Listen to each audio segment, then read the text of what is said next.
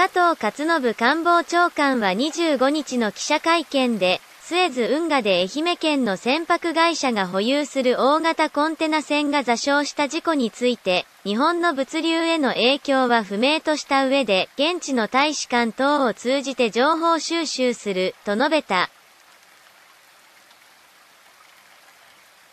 通行に影響が生じておりスエズ運河当局が離床作業を行っているが、加藤氏によると、作業完了時間は未定という。